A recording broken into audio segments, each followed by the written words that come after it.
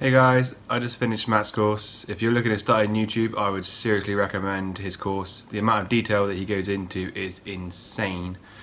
It's probably the best course out there to start YouTube. So don't don't hesitate, take action and get on it.